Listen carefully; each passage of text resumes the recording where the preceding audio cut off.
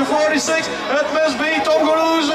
Goroze van uh, Nederland. Hij komt er onderdoor. Aan de buitenzijde die wil daar op de derde plaats uh, terug vooruit schieten. Tino Popma. En die twee Nederlanders. Oh, de bal komt er. Ooh la la!